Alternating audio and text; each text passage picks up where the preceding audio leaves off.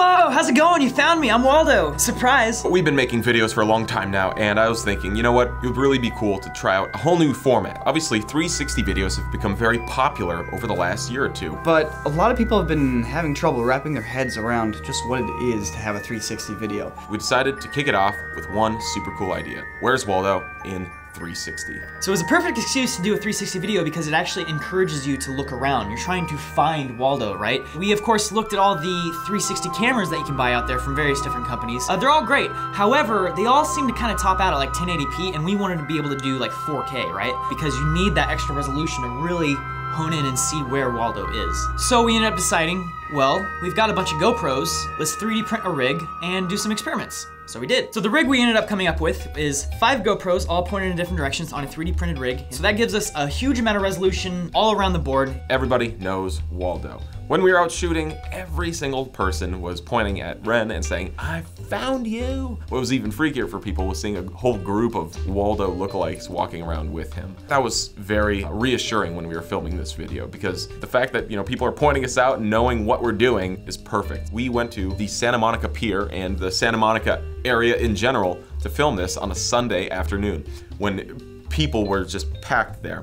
In the Where's Waldo universe, you need to have a lot of people. You need to have objects for people to look at while they're watching the 360 video. So it was very important that we had enough people on each day that could cause basically distractions. We had a Mario, we had a guy in a pizza costume. When shooting with these 360 rigs, and specifically ours, we had no way to actually look at the footage. How would we know how far away Waldo should or shouldn't be? How would we know if he's even close enough to be seen in the camera? We ended up developing a funny trick. I call it the rule of finger.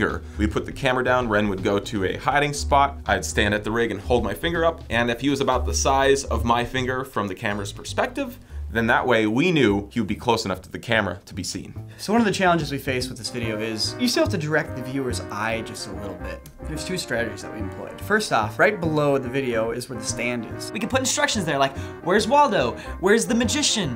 Where's the wizard? As they're scanning around, they're catching all these little things. So everywhere you look, there's something cool going on, not just in wherever Waldo is hiding. But after doing the first test, I realized that we need to kind of give the viewers something to follow. In one of the takes, Sam and I were walking, orbiting basically the 360 degree camera rig. And so we kind of gave a little bit of a tour through the shot, so to speak. An action would happen, some event would happen, we'd run after another character. Then eventually at the end of the shot, we see Waldo and we run after Waldo, so it's kind of like providing the solution to the puzzle at the very end. So now that you actually have the footage from your different GoPros, it's time to stitch them together. And so we looked at a few different video stitching softwares out there, and we ended up settling with AutoPano Pro from the company Kolor. They were bought out by GoPro at some point, so they actually work really nicely with GoPro footage. And the whole process is actually pretty simple and straightforward. You just kind of load your footage, hit stitch, so we had all the GoPros hooked up to one of those GoPro remotes. However, they don't all record at exactly the same time.